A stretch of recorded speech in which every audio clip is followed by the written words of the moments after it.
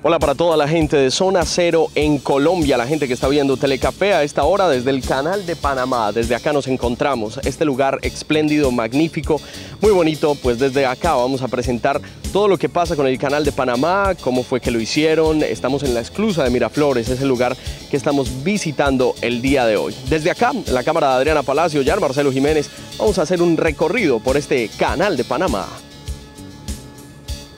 Yo... El canal de Panamá mide 80 kilómetros de largo. Su cauce discurre entre el Atlántico y el Pacífico.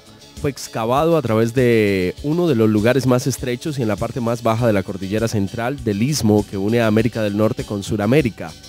El lugar por donde el canal cruza la cordillera, sumamente montañoso, originalmente estaba a más de 95 metros sobre el nivel del mar.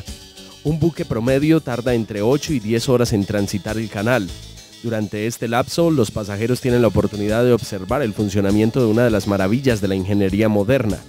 El canal está conformado por varios elementos, el lago Gatún, el corte Culebra y las esclusas Miraflores y Pedro Miguel en el Pacífico y Gatún en el Atlántico.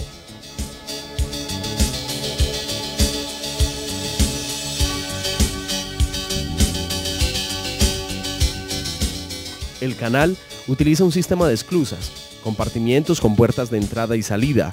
Las esclusas funcionan como elevadores de agua, suben la nave desde el nivel del mar, ya sea Pacífico o del Atlántico, hacia el nivel del lago Gatún, 26 metros sobre el nivel del mar. Así, los buques navegan a través del cauce del canal en la cordillera central de Panamá. Cada juego de esclusas lleva el nombre del poblado en donde fue construido, Gatún en el lado Atlántico, Pedro Miguel y Miraflores en el Pacífico. Las cámaras o escalones de las esclusas tienen 33.53 metros de ancho por 304.8 metros de largo. Las dimensiones máximas para los buques que deseen transitar a través del canal son 32.3 metros de ancho, jalado, profundidad que alcanza 12 metros de agua dulce y 294.1 metros de largo, dependiendo del tipo de buque. Es desde Miraflores donde nos encontramos en el canal de Panamá.